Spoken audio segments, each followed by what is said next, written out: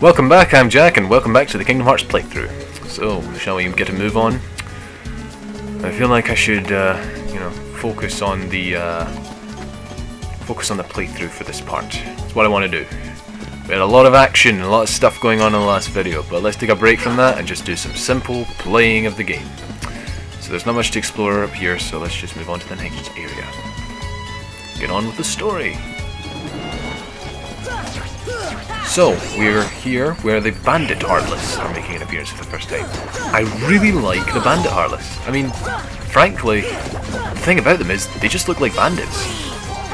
It almost justifies Sora's question of, uh, was Merlin a Heartless? Because, you know, maybe the idea of, you know, Heartless looking human-like was odd at the time, but then you come here and look at this. There are Heartless that look just like people people who are bandits. And they just wield swords. They don't wield fancy, magic, black, dark, evil, glowy swords, just swords. You know? Heartless could seriously be anything or anyone. They can take all sorts of appearances, but uh, they don't talk. So, no, that question is still totally unjustified. Anyway, uh, let's jump up here. But I guess, to be fair, Sora doesn't know too much about the Heartless at this point. You know, still, they're still just those guys that uh, well, those things that uh, he has to fight because they'll kill everyone if he doesn't.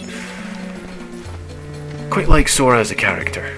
Good, strong sense of justice, uh, and uh, of course, friendliest, friendliest guy in the world. But anyway, actually, case in point, here we go. He's about to make a new friend. Who's there? Hello? Was it really worth having a whole line of dialogue and bringing in you know, whoever Jasmine's voice actress is, just for that one little bit there.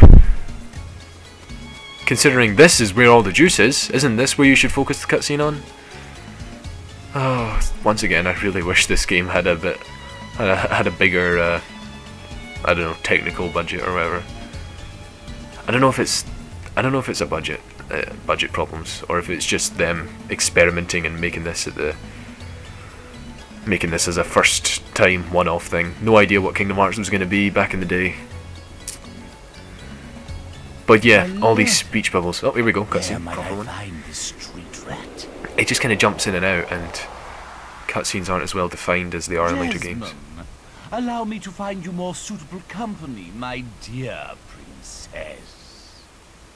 These little rats won't do you, see. Jasmine, run! Great idea, Sora. Separate her. Ah, the boy who holds the key. Well, that was interesting. Alright, there we go. That's cleaned up the town. Jafar's a pretty good villain, but he never got a villain song. That's, uh, I suppose, a regret I suppose you can have about Aladdin. Great film, though. Still remember first seeing Aladdin. You never forget a classic. Alright. Let's just get a few things done around here, such as the very conspicuous looking keyhole here. Click. I like how Sora, like usually, when it comes to opening or unlocking keyholes or whatever, it's a tap or, um, you know, he points it at it and it unlocks, or maybe it shoots a beam, like it does in a, a few times in Kingdom Hearts 2. But here, when he wants to unlock something, he just jams it in.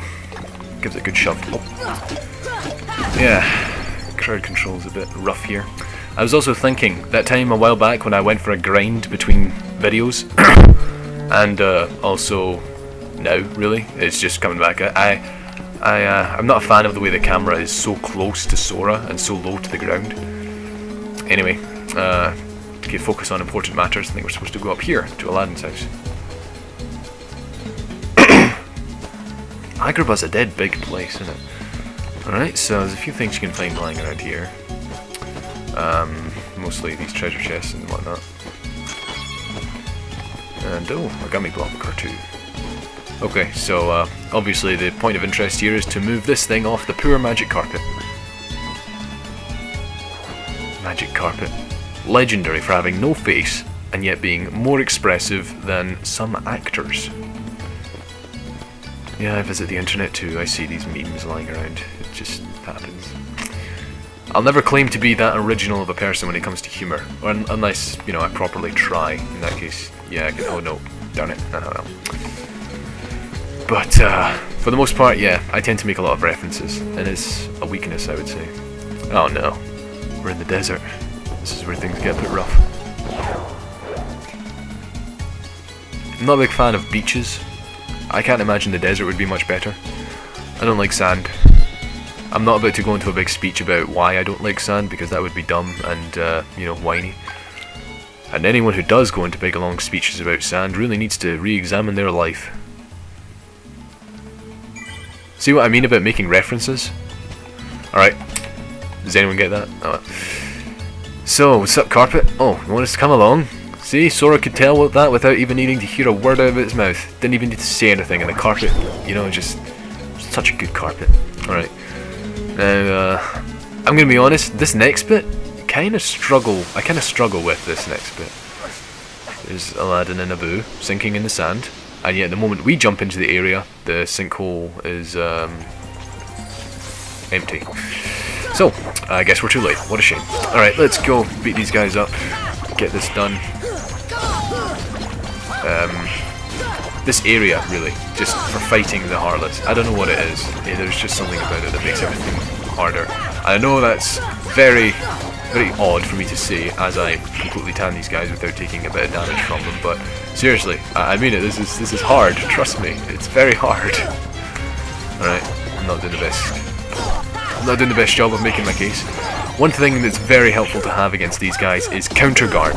I think that's what the ability is called because you'll need it a lot when fighting these guys because your swords are very likely to clash.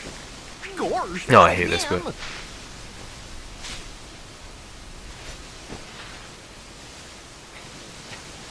Genie, get rid of these guys!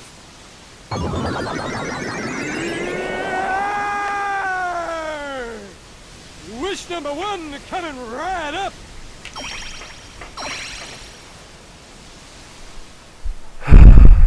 I miss Robin Williams. In Kingdom Hearts, Aladdin is really hasty to use his wishes. so yeah. Thanks, Sora. Aladdin, what are you doing out here? Same old stuff. Hunting legendary treasure. Just paid a visit to the Cave of Wonders. I found that magic carpet. And this lamp. Legend has it that whoever holds the lamp can summon Please, kid, leave the intros to a professional. The one and only Genie of the Lamp. Rub it up, dub the lamp and have your dearest wishes granted. Today's winner is Aladdin. Congratulations. Aladdin what? Patience, my fine feathered friend. Any three wishes. Oh, one wish, a two wish, a three wish. Then I make like a banana and spin it. Our lucky winner made his first wish. And let me tell you what a doozy that wish was. You're telling me. So he has two left. So, Master, what do you have for wish number two? How about making me a fabulously wealthy prince? Whoa! Money, royalty, fame! Why didn't I think of that? Okay, you asked for it. A hundred servants and a hundred camels loaded with gold. Just say the word and I'll deliver it in 30 minutes or less, or your meal's free. Hey, I'll even throw in a cappuccino. no thanks. Okay. I Genie was really disappointed about that until we reach cappuccino. Oh, why a prince? You see, there's this girl in Agrabah named Jasmine. But she's a princess.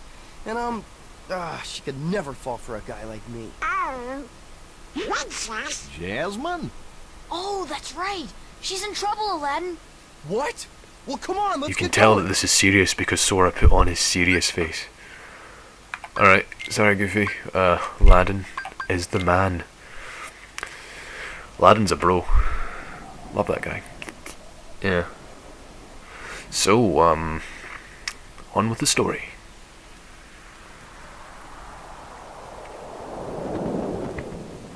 Put a lot of effort into animating the genie. The great outdoors. And let's face it, it was well worth it. I guess you don't get out much, huh? Comes with a job. Phenomenal cosmic powers, itty bitty living space.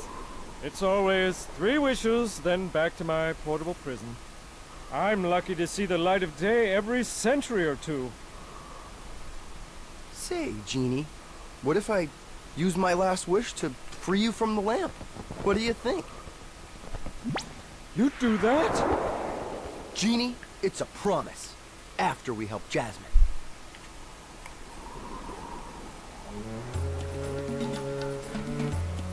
Something I've kind of struggled with when it comes to Aladdin and the lore of him and the genie in that.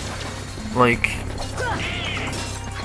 would it would it really like the genie's Aladdin's friend, you know, and he has his own free will once he's free of the lamp, you know. So, was it really too much of an issue to free the genie in the first place, and then maybe genie would do him plenty of favor if he asked for it, you know? Like, he doesn't have to be the genie's master for the genie to grant him wishes, um, provided, you know, they're for the best in that. I mean, yeah, I guess it helps having the genie more under his thumb and under his control, which, while selfish, I can understand the reasons of.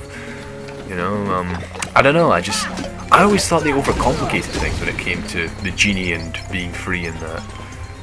But that's an issue for another day.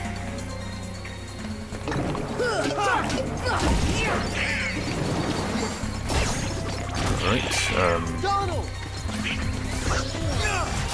Not sure if there was something important to do up here or not. I don't know. Maybe, maybe because of all the rooftop hopping, maybe this was the point where you're supposed to unlock that. That would explain the uh, odd placement of... Oh, darn it. I hate those things.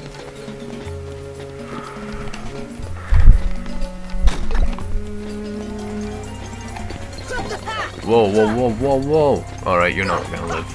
You're not with that. Oh, good thing I came down here. Good items you don't want to miss out on. Good grief, these boxes. Come on. There we go. Bit fidgety, isn't it? The physics in, this, in these games. Yeah, I don't have much to talk to talk about in this part. Like I said, I'd, I'd rather just sort of stick to the um, stick to this being a simple playthrough part. Get through the story, get things done, get going, get going, get it done right. So, shall we just move on to the main street? Where, whoops, where, whoops, uh, there we are. Uh, as I recall, we're supposed to go to, um, I don't remember where we're supposed to go to. Ah, yes, I remember now. So, it's it's uh, clear to go through there right now to the palace gates, which is utterly pointless because uh, you have to go up here in the land section.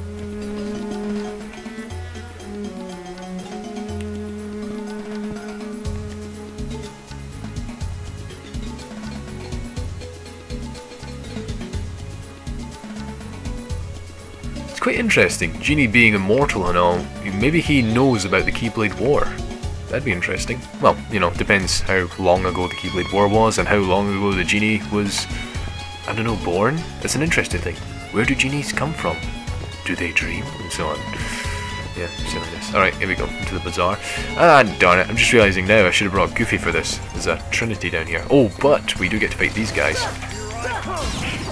Oh my goodness, Aladdin! Jeez, man, calm down! How did he do that? So yeah, these guys are more annoyances than anything else. Lots of defense to make up for their tiny amounts of health. And as fighters, they mostly focus on just, uh, you know, poisoning you with gas.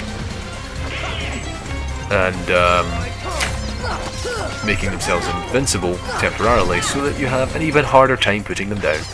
But, you get 96 experience points for them. Oh, all in all, one of my favourite mushroom heartless. Despite their simplicity, despite their uh, kind of blandness, honestly, overall. I like those mushroom heartless. They're not as cute as the white ones, they're not as cute as the white mushrooms. You know? Uh, oops, hang on.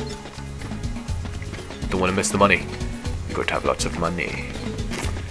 Did I say before that the way money was spelt resembles uh, the way it's spelt, the way honey is spelt Winnie the Pooh?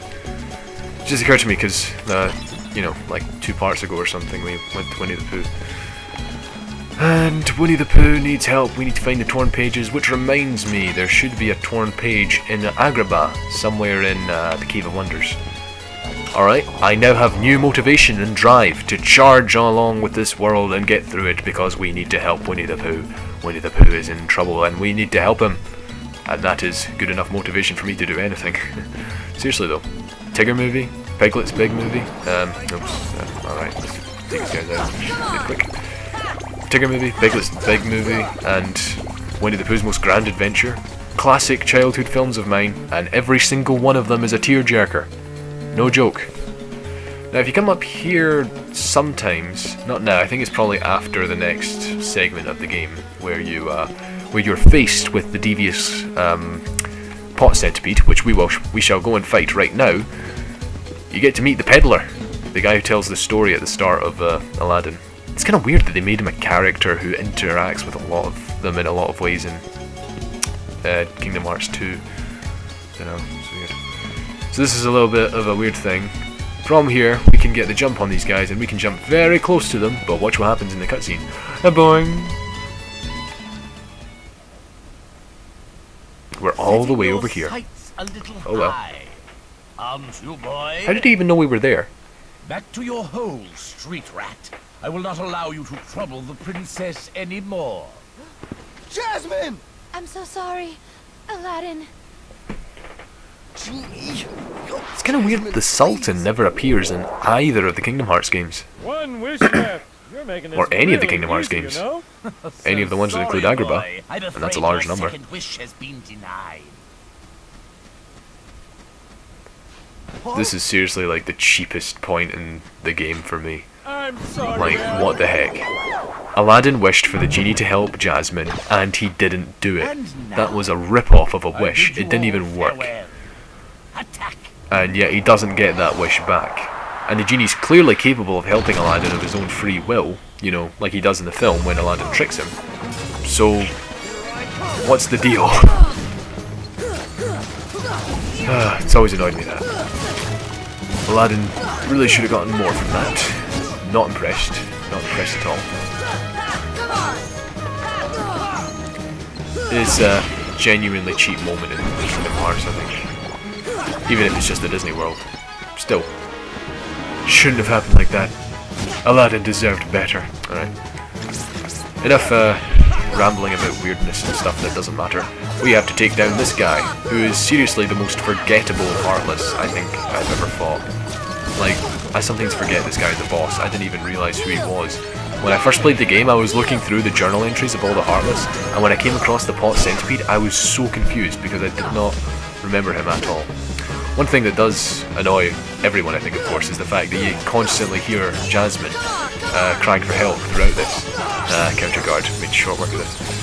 Um, I don't have that issue right now because I'm playing the game muted, so I can't hear anything, but uh, yeah, that uh, doesn't annoy me so much as it does just irritate me as the fact as it as it implies she should be in one of those pots. To the desert! Come on, let's move! Honestly, it always freaked me out that she falls into a pot and then it turns into a pot spider. Like, what's the inside of the pot like? What did what did she see from her point of view? Was it cold? Was it dark? Well, you know, darkness, heartless. Kind of assume that, it's kind of a given. Anyway, let's wrap this up with these guys and get on with saving the princess, because that's pretty much a very original, very unique objective that we must fulfill right now, importantness-wise. So, uh, that usually means a lot of fighting.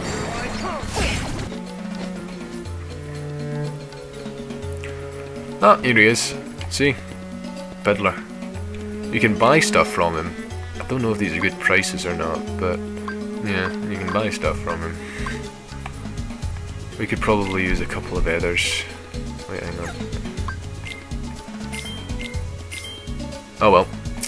Anyway, um, yeah, we gotta go fight the Cave of Wonders now, and when I was talking about that difficult point in the desert, it gets even more difficult for me when I'm fighting the Cave of Wonders. That's really the thing that I'm afraid of. I do not like that boss fight. So, the next part should be interesting. Because we're going to fight him in the next part. See you later. Thanks for watching. Uh, I'm Jack, and I'll be back.